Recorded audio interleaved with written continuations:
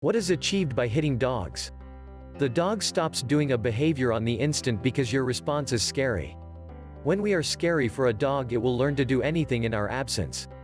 Becoming a much more difficult problem to solve.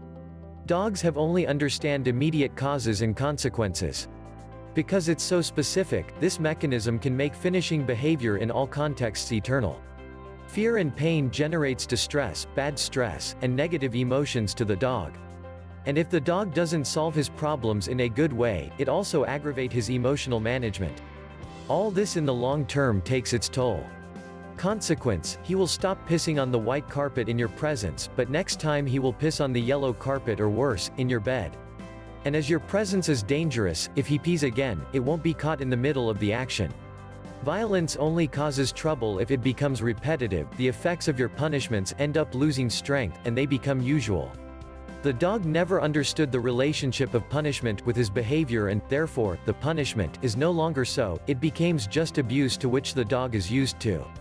The dog will avoid dangerous situations, which will make it hard to maintain an education. Not to say that the link with you will be much worse. If you want to know to behaves click the link in the description.